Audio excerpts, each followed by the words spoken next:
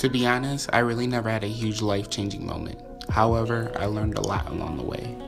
Growing up, one of my biggest problems was accepting myself.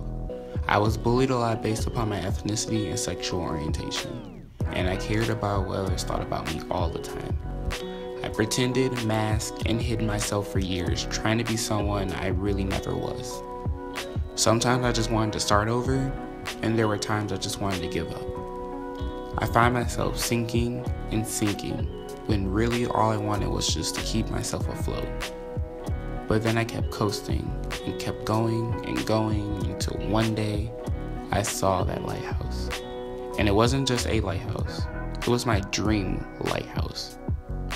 I came to Full Sail University as a starting point for my life, a cornerstone which thus far has given me guidance and also a complete safe haven.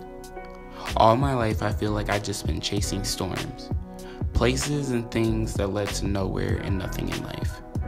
But this time, I just want to reach out even further and further with no limit, with no hesitation. My main passion is to travel the world and to be able to help people, and tell stories, and be able to grow, and most importantly, connect. I want to be able to see and do it all. The jack of all trades, one might say.